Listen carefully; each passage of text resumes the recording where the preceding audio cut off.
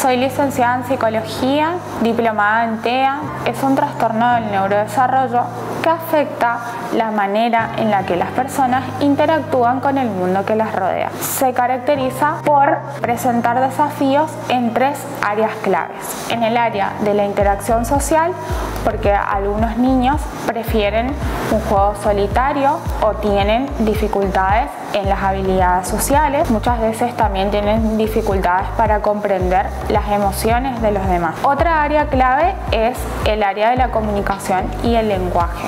Hay un retraso en el desarrollo del habla o bien aparece la ecolalia, que es la repetición de las frases o de palabras. Y por último, es el área de las conductas.